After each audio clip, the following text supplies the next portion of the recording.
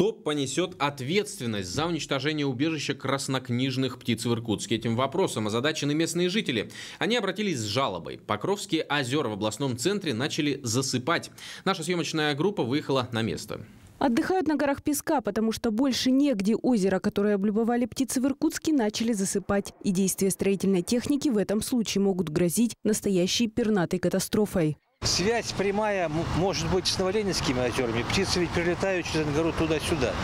Если в районе Новоленинских буквально десятки, десятки видов птиц включены в федеральную и региональную красные книги, то и здесь наверняка часть из них встречалась стопроцентно, а некоторые гнездились.